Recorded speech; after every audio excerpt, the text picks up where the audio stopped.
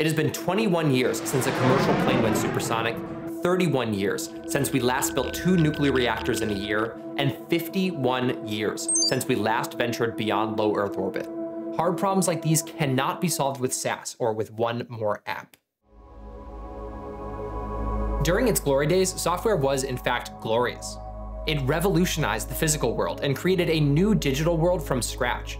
Software fundamentally changed almost every industry from delivery to gaming to payments and beyond. Companies that were not able or not willing to modernize were just killed off. And with great power comes great profitability. Companies like Google and Facebook and Amazon and Netflix became some of the biggest companies in the entire world. Software was cool, and software had won. But around the time of COVID, the tide started to turn software companies stopped doing new innovative things and basically just started going after smaller niche markets using the same technology that already existed. You saw the rise of vertical SaaS startups, which basically means software as a service to service tiny little markets like dog walkers or funeral homes. Many software companies even just focused on serving other software companies, which isn't a bad idea because there were so many of them, but it was the start of software eating its own tail. And then the AI boom happened. You saw the rise of these large language models, which unequivocally were an amazing use of software, totally bucking the other trends that we're talking about. And that sounds great, but with AI, some people believe that the end of SaaS is near.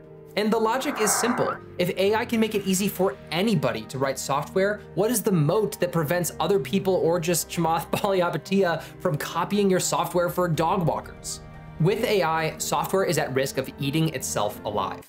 Of course, ambitious entrepreneurs still want to start companies, but they recognize that building in SaaS today is building on a foundation of sand. Both founders and investors are looking for more solid ground, and they're finding it by going after the hard problems that are facing society today. 3 billion people have never used the internet.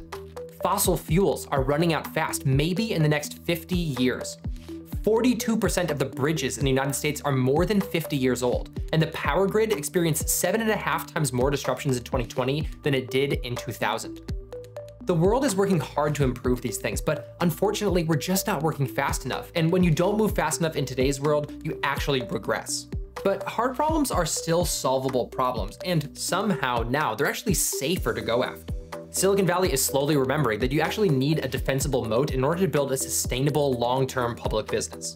You need to find earned knowledge, or in Naval Ravikant's words, you need to give society what it does not know how to get yet at scale. Well, society knows how to build software now, but they don't know how to build net new technology for the world, which is the domain of deep tech.